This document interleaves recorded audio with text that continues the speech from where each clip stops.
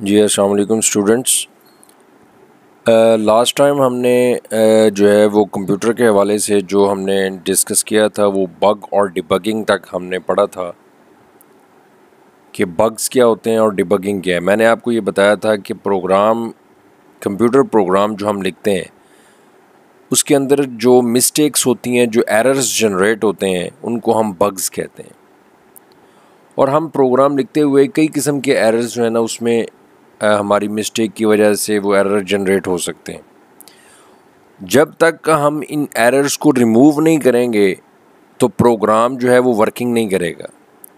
वो अपना result show नहीं करेगा।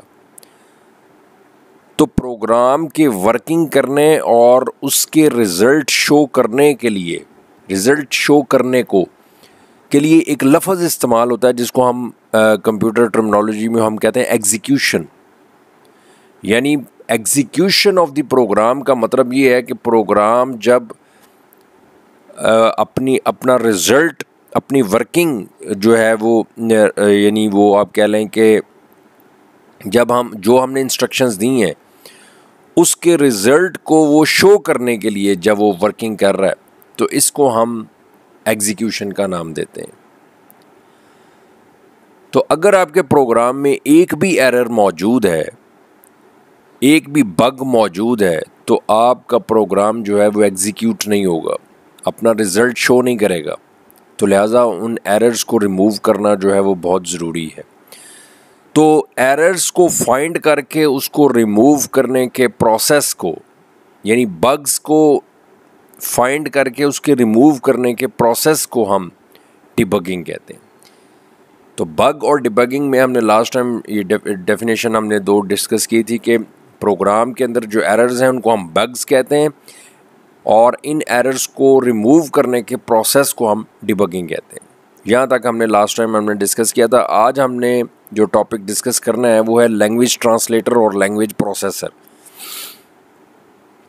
असल में कंप्यूटर जो है, वो आपको पता है, और लास्ट टाइम हमने डिस्कस किया था कि कंप्यूटर जो है, वो सिर्फ़ उसकी अपनी लैंग्वेज है। बाइनरी फॉर्म में, यानी कंप्यूटर जो है वो सिर्फ़ मशीन लैंग्वेज को अंडरस्टैंड करता है। लेकिन जो हम हाई लेवल लैंग्वेज में जो प्रोग्राम लिखते हैं इंग्लिश फॉर्म में असेंबली लैंग्वेज में हम सिंबल्स फॉर्म में लिखते हैं तो इन हाई लेवल लैंग्वेज के प्रोग्राम को और असेंबली लैंग्वेज में लिखे हुए इन सिंबल्स को वो कंप्यूटर डायरेक्टली तौर पे अंडरस्टैंड नहीं करता, क्योंकि कंप्यूटर जो है वो तो सिर्फ़ बाइनरी लैंग्वेज को अंडरस्टैंड करता है। लिहाजा इंग्लिश से और से सिंबल्स से बाइनरी फॉर्म में कन्वर्ट करना ज़रूरी है। तब जाके कंप्यूटर को पता चलेगा कि उसने क्या करना है, फिर उसके मुताबिक फिर वो आपकी वो जो है ना, वो प्रोसेस करेगा, उसको फिर रिज़ल्ट शो करेगा, यानी फिर वो एग्जीक्यूट होगा। तो अब कंप्यूटर जो है वो सिर्फ़ मशीन लैंग्वेज को अंडरस्टैंड करता है। लेकिन हाई लेवल लैंग्वेज में हम इंग्लिश में इंस्ट्रक्शंस लिखते हैं असम्बली लैंग्वेज में हम सिंबल्स फॉर्म में इंस्ट्रक्शंस लिख सिंबल्स देते हैं तो इनको वो अंडरस्टैंड नहीं करता। लिहाजा कंप्यूटर के अंदर ऐसे प्रोग्राम्स होते हैं, जो कि हाई लेवल लैंग्वेज में लिखे हुए प्रोग्राम को और असम्बली लैंग्वेज में लिखे हुए सिंबल्स फॉर्म में, इन सिंबल्स को बाइनरी फॉर्म में कन्वर्ट करते हैं। ठीक है ना? तो ऐसे स्पेशल प्रोग्राम्स जो कि इन प्रो, जो हाई लेवल लैंग्वेज में लिखे हुए प्रोग्राम को और असम्बली लैंग्वेज में लिखे हुए प्रोग्राम को बाइनरी फॉर्म में, यानी मशीन लैंग्वेज में कन्वर्ट करें, उन स्पेशल प्रोग्राम्स को हम लैंग्वेज ट्रांसलेटर या लैंग्वेज प्रोसेसर कहते हैं। ठीक है? उनमें कंपाइलर इंटरप्रेटर और असेंबलर जो हैं, ये लैंग्वेज ट्रांसलेटर्स हैं, जो कि इन लैंग्वेज के लिखे हुए प्रोग्राम्स को जिसको कंप्यूटर डायरेक्टली तौर पर अंडरस्टैंड नहीं करता, उसको वो बाइनरी फॉर्म में कन्वर्ट करते हैं। और ये नहीं है कि हर लैंग्वेज अब देखें ना मसन बहुत सारी प्रोग्रामिंग लैंग्वेजेस हैं। हाई लेवल लैंग्वेजेस में बेताश हैं। मसन सी है सी प्लस प्लस है विजुअल बेसिक है जावा है फोट्रॉन है। मैंने आपको बताया था कि बेताश हाई लेवल लैंग्वेजेस हैं। ये नहीं है कि एक ही लैंग्वेज ट्रांसलेटर जो है वो सारे प्रोग्राम्स को कन्वर्ट कर रहा है। एक ही लैंग्वेज प्रोसेसर या लैंग्वेज ट्रांसलेटर जो है वो सारे लैंग्वेजेस के प्रोग्राम को कन्वर्ट कर रहा है, बल्कि हर लैंग्वेज का अपना लैंग्वेज ट्रांसलेटर है। अपना लैंग्वेज प्रोसेसर है। जिस तरह विजुअल बेसिक का जो लैंग्वेज ट्रांसलेटर है, वो सिर्फ़ विजुअल बेसिक के प्रोग्राम्स को कन्वर्ट करेगा ऑब्जेक्ट बाइनरी फॉर्म में। जो सी का लैंग्वेज ट्रांसलेटर है, वो सिर्फ़ सी के प्रोग्राम्स को करेगा। जो जावा का है, वो जावा के प्रोग्राम्स को करेगा। तो हर प्रोग्रामिंग लैंग्वेज का अपना लैंग्वेज ट्रांसलेटर है, अपना लैंग्वेज प्रोसेसर है। ठीक है? तो ये लैंग्वेज ट्रांसलेटर्स की जो मैं बात कर रहा हूँ, वो तीन किस्म के हैं। तीन there are three types of language translators compiler interpreter और असेंबलर जहाँ तक तो असेंबलर का ताल्लुक है ये एक लैंग्वेज ट्रांसलेटर ऐसा है जो सिर्फ़ और सिर्फ़ असेंबली लैंग्वेज के लिए रिज़र्व है। यानी ये असेंबली लैंग्वेज के अंदर जो हम सिंबल्स यूज़ करते हैं, जिनको हम निमोनिक्स कहते हैं, उन सिंबल्स को ये बाइनरी फॉर्म में कन्वर्ट करता है और किसी भी हाई लेवल लैंग्वेज के प्रोग्राम को कन्वर्ट नहीं करता। यानी असेंबलर जो है, ये सिर्फ़ असेंबली लैंग्वेज के प्रोग्राम्स को, उनके जो सिंबल्स हैं, उनको बाइनरी फॉर्म में कन्वर्ट करता है। बाकी जो कंपाइलर और इंटरप्रेटर है, ये दोनों लैंग्वेज ट्रांसलेटर जो हैं, ये हाई लेवल लैंग्वेज के लिए हैं। कंपाइलर भी हाई लेवल लैंग्वेज को करता है इंटरप्रेटर भी हाई लेवल लैंग्वेजेस को करता है। यानी ये दोनों लैंग्वेज ट्रांसलेटर जो है, वो हाई लेवल लैंग्वेजेस के लिए हैं और असेंबली असेंबलर जो है, वो सिर्फ़ असेंबली लैंग्वेज के लिए। अब कंपाइलर और इंटरप्रेटर जो है, ये दोनों हाई लेवल लैंग्वेज के लिए तो दोनों में फ़र्क क्या है? कंपाइलर जो है, ये कन्वर्ट करने का, ट्रांसलेट करने का फास्ट मेथड है और इंटरप्रेटर जो है, वो स्लो मेथड है। कंपाइलर की जो परफॉर्मेंस है, उसकी जो एफिशिएंसी है, वो ज़्यादा है, बेहतर है as compared to the interpreter अब कैसे? कंपाइलर जो है, ये उसकी कन्वर ये जो, उसको कन्वर्ट करने की यानी इंग्लिश से बाइनरी फॉर्म में कन्वर्ट करने का जो प्रोसीजर है, वो फास्ट है। क्यों फास्ट है? कि कंपाइलर जो है, वो एक ऐसा प्रोग्राम है, क्योंकि ये लैंग्वेज ट्रांसलेटर है। ये एक ऐसा प्रोग्राम है जो कि हाई लेवल लैंग्वेज के अंदर जो हम इंस्ट्रक्शंस लिखते हैं, उसको मशीन लैंग्वेज में कन्वर्ट तो करता है, लेकिन एज ए होल करता है। एज ए होल का मतलब ये है कि एक प्रोग्राम के अंदर दस लाइनें हैं, या बीस लाइनें हैं। अब प्रोग्रामिंग टर्म टर्मिनोलॉजी के हवाले से जो कंप्यूटर प्रोग्राम होता है, उसकी एक लाइन जो है, उसको हम स्टेटमेंट कहते हैं या इंस्ट्रक्शन कहते हैं।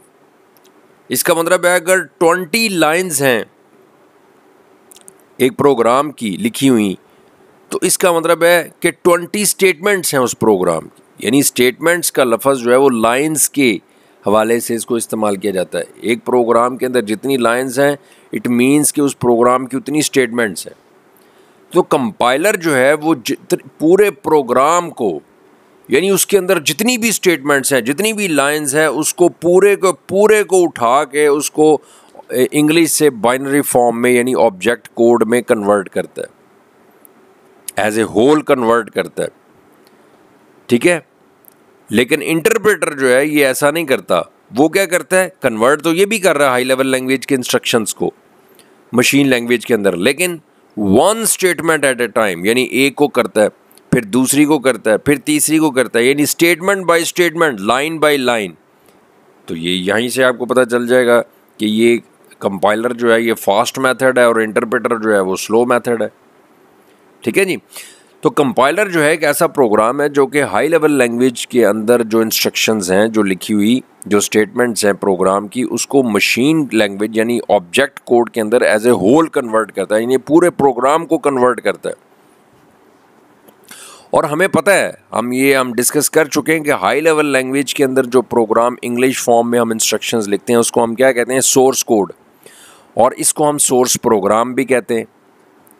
तो इसका मतलब ये है कि कंपाइलर जो है वो सोर्स प्रोग्राम से मशीन कोड के अंदर, यानी ऑब्जेक्ट कोड के अंदर कन्वर्ट करता है, जिसको हम ऑब्जेक्ट प्रोग्राम भी कह सकते हैं। यानी कन्वर्ट जो कंपाइलर है, ये सोर्स प्रोग्राम को को कन्वर्ट करता है, क्योंकि हाई लेवल लैंग्वेज के अंदर जो प्रोग्राम जो इंस्ट्रक्शंस लिखती हैं, उसको हम क्या कहते हैं? सोर्स प्रोग्राम या सोर्स कोड तो इसका मतलब हम ये भी कह सकते हैं कि कंपाइलर जो है वो सोर्स प्रोग्राम को ऑब्जेक्ट कोड के अंदर, जिसको हम ऑब्जेक्ट प्रोग्राम भी कह सकते हैं, उसके अंदर कन्वर्ट करते हैं। एक चीज़ और है डिफरेंस इसमें कि जो कंपाइलर है, ये एक दफ़ा कन्वर्ट करता है। यानी आपने एक प्रोग्राम बनाया, उसको एक दफ़ा कन्वर्ट करता है। और कन्वर्ट करके उसकी जो ऑब्जेक्ट फ़ाइल है, उसको हार्ड डिस्क पे बना के उसको सेव कर देता है। क्योंकि नेक्स्ट टाइम जब आपको उस प्रोग्राम की ज़रूरत पड़ेगी, जब आप उसके अंदर कोई तब्दीली करनी है या उसको दोबारा आपने उसको यूज़ करना है तो फिर हर दफ़ा वो कन्वर्ट नहीं करता, बल्कि वो फिर उसी ऑब्जेक्ट फ़ाइल को ही यूज़ करता है। ठीक है ना, मसलन आप एक वर्ड की फ़ाइल है वर्ड की फ़ाइल को आप कई दफ़ा, एक दफ़ा आपने कोई लेटर एप्लीकेशन बनाया है तो वो ज़रूरी तो नहीं कि एक दफ़ा ही आप उसको यूज़ करें, एक दफ़ा ही उसको ओपन करें, आप कई दफ़ा उसको ओपन कर सकते हैं। कई दफ़ा उसको उसके अंदर तब्दीली कर सकते हैं। इसी तरह प्रोग्राम को भी आप कई दफ़ा चलाते हैं, कई दफ़ा उसके अंदर मॉडिफिकेशन करते हैं। तो कंपाइलर जो है वो हर दफ़ा कन्वर्ट नहीं करता, बल्कि एक दफ़ा फ़र्स्ट टाइम कन्वर्ट करके उसकी ऑब्जेक्ट फ़ाइल बना के हार्ड डिस्क पे बाइनरी फॉर्म में उसको सेव कर लेता है। और फिर उसको बार बार उसी को ही यूज़ में लाता है। उसी को ही वर्क उसको एग्जीक्यूट करता है मैनी टाइम्स ठीक है? और एक चीज़ और है। एक तो मैंने आपको बताया कि कंपाइलर जो है वो पूरे प्रोग्राम को कन्वर्ट करता है एज ए होल ठीक है? यानी सोर्स प्रोग्राम से ऑब्जेक्ट कोड में ऑब्जेक्ट प्रोग्राम में कन्वर्ट करता है। और दूसरा मैंने एक चीज़ आपको ये बताई है कि कंपाइलर जो है वो सिर्फ़ एक दफ़ा कन्वर्ट करता है। बार बार कन्वर्ट नहीं करता। बार बार सिर्फ़ उसको यूज़ करता है। तीसरी एक चीज़ और है कि कंपाइलर जो है, ये आपके प्रोग्राम में से सेंटेक्स एरर्स को चेक करता है। अब सेंटेक्स एरर की आगे तफसील है एरर्स का टॉपिक है आगे। सेंटेक्स क्या होता है? देखिए, हर लैंग्वेज के अपने रूल्स रूल्स होते हैं। जिस तरह इंग्लिश लैंग्वेज है इंग्लिश लैंग्वेज आप पढ़ते हैं, उसकी अपनी ग्रामर है, उसकी अपनी टेंसेज हैं। कहाँ पे एस आना है, कहाँ पे ई एस आना है, कहाँ पे कॉमा लगना है, ये उसके इंग्लिश के रूल्स हैं।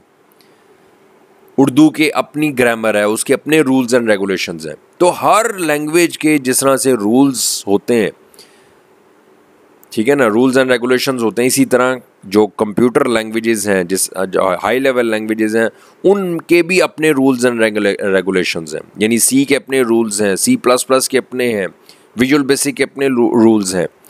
तो जो जो मुख्तलिफ़ लैंग्वेजेस के जो रूल्स एंड रेगुलेशंस हैं, इनको हम प्रोग्रामिंग टर्मिनोलॉजी में हम क्या कहते हैं? सेंटेक्स यानी हम ये कह सकते हैं कि हर लैंग्वेज का अपना सेंटेक्स है। तो इसका क्या मतलब हुआ कि हर लैंग्वेज के अपने रूल्स एंड रेगुलेशंस हैं। और हम जिस लैंग्वेज में भी काम कर रहे हैं, जिस लैंग्वेज में भी हम प्रोग्राम बना रहे हैं या उसको इंस्ट्रक्शंस लिख रहे हैं तो हमें उस लैंग्वेज के रूल्स को हमें फॉलो करना पड़ता है। अगर हम उसको वॉयलेट करेंगे, उसको फॉलो नहीं करेंगे तो जो एरर जनरेट होगा, उसको हम क्या कहेंगे? सेंटेक्स एरर तो अब आपने प्रोग्राम में आपसे मिस्टेक हो जाती है। मिस्टेक हो जाती है। यानी वो सेंटेक्स एरर आ गया। अब सेंटेक्स एरर को आपको नहीं पता चलता। अब कंपाइलर का क्या काम है? कि वो जब सोर्स कोड से उसको ऑब्जेक्ट कोड में कन्वर्ट करता है, कन्वर्ट करने के लिए कर उसको कन्वर्ट करने लगता है तो वो आप, सबसे पहले कन्वर्ट करने से पहले आपके प्रोग्राम में से सेंटेक्स एरर को चेक करता है कि आपने कोई रूल की खिलाफ वर्जी तो नहीं की।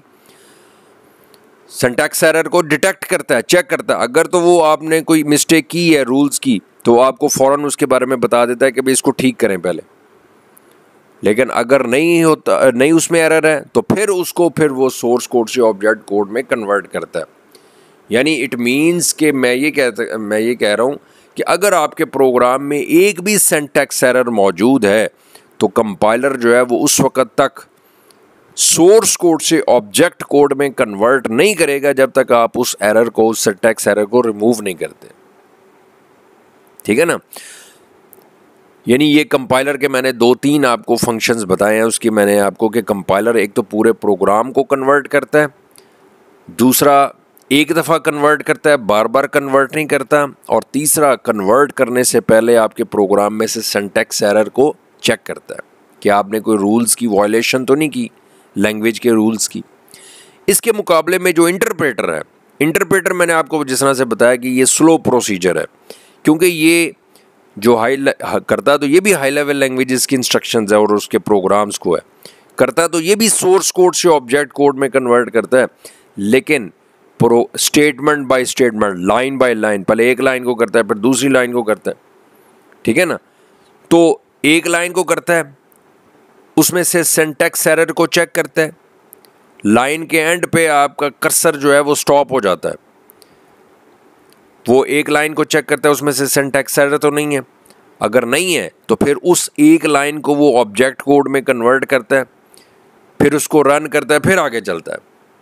यानी लाइन बाय लाइन और अगर आपके किसी भी लाइन में कोई सेंटेक्स एरर है तो वहाँ पे इंटरप्रेटर जो है वो वर्किंग स्टॉप कर देता है और आपको एरर मैसेज जनरेट कर देता है। यानी कंपाइलर जो है, ये पूरे प्रोग्राम में से एक वक्त में एक ही दफ़ा सारे एरर्स मसलन आपने एक प्रोग्राम के अंदर फॉर एग्जांपल पाँच मिस्टेक्स की हैं सेंटेक्स सेंटेक्स एरर्स की, पाँच मिस्टेक्स की हैं। तो कंपाइलर क्या करेगा कि पूरे प्रोग्राम को जब वो कन्वर्ट करने लगेगा, उसको पहले चेक करेगा उसमें एरर्स को। अगर उसमें से मसलन पाँच हैं या छः एरर्स हैं ना तो आपको इकट्ठी एरर्स की लिस्ट डिस्प्ले कर देगा। Error number one error number two error number three error number four पूरी यानी पूरे प्रोग्राम में से वो एक दम एट वंस एक ही वक्त में वो एरर्स को डिटेक्ट करता है और चेक करता है और फिर जो है ना, आपको उसके बारे में इन्फॉर्म कर देता है। फिर आप लेकिन रिमूव आप खुद करते हैं वन बाय वन लेकिन इंटरप्रेटर क्या करता है कि पूरे प्रोग्राम में से नहीं, बल्कि एक लाइन में से सिर्फ़ एरर को चेक करता है। फिर जब आप उसको ठीक कर लेते हैं, फिर अगली लाइन को चेक करता है। फिर आप उसको ठीक कर लेते हैं फिर तीसरी लाइन को। यानी वो कन्वर्ट कन्वर्ट भी लाइन बाय लाइन करता है और एरर सेंटेक्स एरर को चेक भी लाइन बाय लाइन करता है। ठीक है ना? तो इसका एक फ़ायदा है, इसका इंटरप्रेटर का फ़ायदा भी है और उसका नुकसान भी है। फ़ायदा तो ये है कि आपको एक एक लाइन में लाइन बाय लाइन साथ साथ आपको एरर्स जो है ना, वो सेंटेक्स एरर के बारे में आपको इन्फॉर्म होता रहता है, आपको इन्फॉर्मेशन मिलती रहती है। मसन एक एक लाइन करके line by line statement by statement जो है ना, वो आपको फ़ौर इमीजिएटली तौर पे आपको एरर्स के बारे में पता चलता रहता है। लेकिन ड्रॉबैक ये है कि इसकी एफिशिएंसी कोई नहीं है एफिशिएंट नहीं है। क्यों? कंपाइलर जो है, वो तो सिर्फ़ एक दफ़ा मैंने आपको बताया कि कन्वर्ट करके, उसकी ऑब्जेक्ट फ़ाइल क्रिएट करके हार्ड डिस्क पे सेव कर देता है, हर दफ़ा कन्वर्ट नहीं करता।